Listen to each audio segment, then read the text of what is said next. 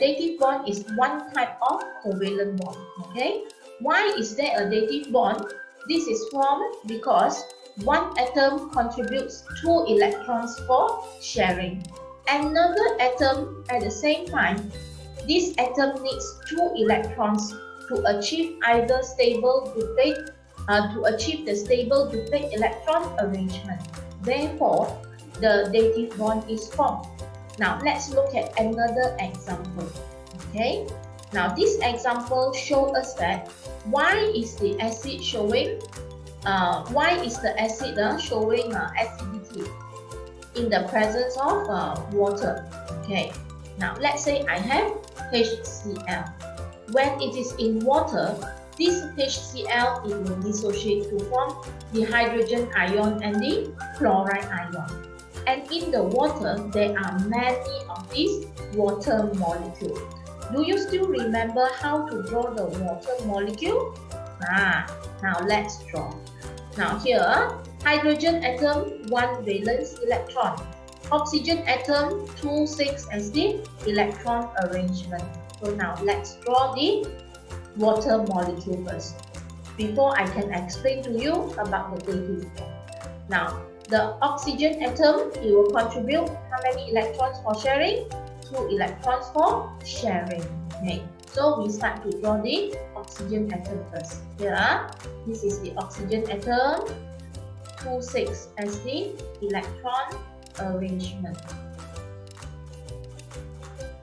Okay, 1, 2, now for the 6, 1, 2, 3, 4, 5, and the 6 is here.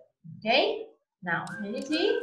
I am going to put the hydrogen atom here.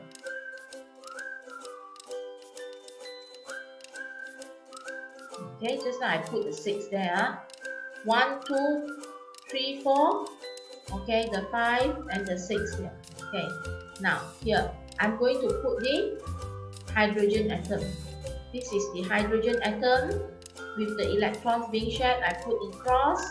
This hydrogen atom with the electrons being shared. I put across here. Okay. Now, when this hydrogen ion is there, did you see that this is lone pair? Huh? No, not being shared. Two electrons are there. And at the same time, this hydrogen ion needs to achieve stable octet electron arrangement.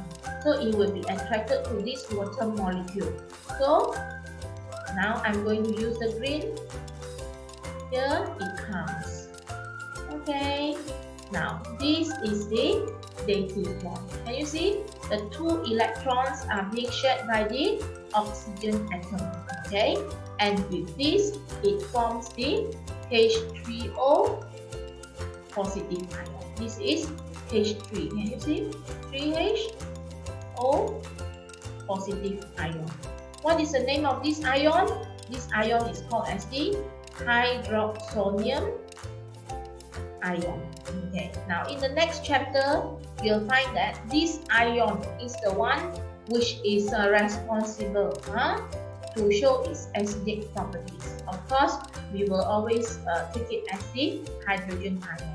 So, when this HCl dissociates in water, hydrogen ion is formed. This hydrogen ion will combine, huh? combine in the form of forming the dative bond with the water molecule to form the hydroxonium ion. So if I were to represent it using lines like this,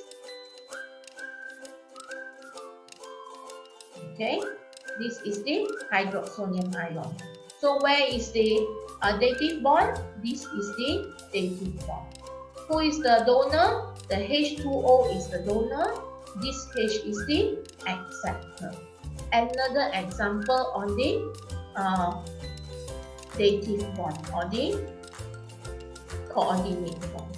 Okay, so I hope you can understand what we discussed about the dative bond today.